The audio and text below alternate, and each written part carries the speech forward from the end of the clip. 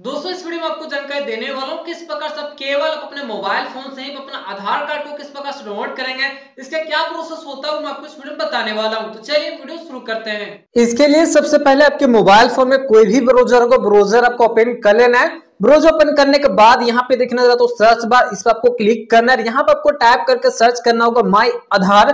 Then आपको search करना है। तो जैसे यहाँ पे माई आधार टाइप करके सर्च कीजिएगा, उसके बाद आपको नीचे आना है। जब नीचे आएगा तो यहाँ पे देखिए पहला ही वेबसाइट नज़र आता होगा एम आई आधार का यूआईडी यहाँ पर नज़र आ रहा है ऑप्शनल वेबसाइट नज़र आता होगा। तो पहला ही वेबसाइट पर आपको क्लिक करना है। उसके बाद फाइनली यहाँ पे आपको अपना आधार कार्ड को डाउनलोड करना है। उसके लिए आपको नीचे आना है। यहाँ पे देखिए एक ऑप्शन नज़र आता होगा डाउनलोड आधार का।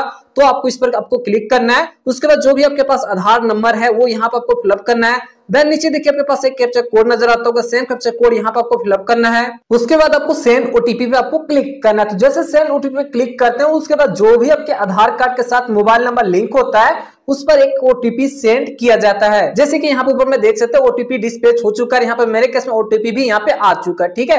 तो चलिए, जो भी ओटीपी आता है, उस ओटीपी को यहाँ पर आपको फिलअप करना है। उसके बाद नीचे देखिए, यहाँ पर नज़र तो वेरीफाई एंड डाउनलोड तो आपको वेरीफाई एंड डाउनलोड पर आपको क्लिक करना है। तो जैसे वेरीफाई एंड डाउनलोड पर क्लिक करते हैं फाइनली जो आपका आधार कार्ड होता है, वो सक्सेसफुली आपका एक पीडीएफ फ़ाइल में डाउनलोड हो जाता है। जैसे कि देख सकते हैं, मेरे पेज में यहाँ पे डाउनलोड हो चुका है। चलिए, मैं आपको ओपन करके भी मैं आपको दिखा देता हूँ। इसके लिए यहीं पे देखना जाता होगा जस्ट होम तो यहाँ पे मैं जस्ट होम पर मैं क्लिक करता हूँ, ठीक है? तो फाइनली आपका तो आधार कार्ड यहाँ पे एक पीडीएफ फ़ाइल में डाउनलोड हो चुका है। यहाँ पे देखिए ओपन करने का भी ऑप्शन आ चुका है। लेकिन जो आधार कार्ड आपका डाउनलोड हुआ है पीडीएफ फ़ाइल में, उसमें एक पासवर्ड प्रोटेक्ट होता है, ठीक है? इसमें पासवर्ड होता है। जब तक यहाँ पे सही से एक पासवर्ड आप नहीं डालिएगा, तब तक आपका जो आधार कार्ड का पीडीएफ फ़ाइल होगा, वो आपका ओपन नहीं होगा। तो चलिए सबसे पहले मैं आपको समझा देता हूँ कि आपके आधार कार्ड का पीडीएफ फ़ाइल का पासवर्ड क्या होता है, ठीक है? मेनली जो इसका पासवर्ड होता है, वो आठ डिजिट का होता है, जिसमें आपका जो भी आपका नाम होता है, नाम का फ़र्स्ट फोर लेटर लिखना है इंग्लिश में बड़े बड़े अक्षरों में देन जो लास्ट फोर डिजिट होता है, वो जो भी आपका डेट ऑफ़ बर्थ होता है डेट ऑफ़ बर्थ में आपका ईयर होता है, ठीक है? देन आपको ओपन पर क्लिक करना है। तो जैसे ओपन पर क्लिक करते हैं तो फाइनली जो आपका आधार कार्ड का पीडीएफ फ़ाइल होता है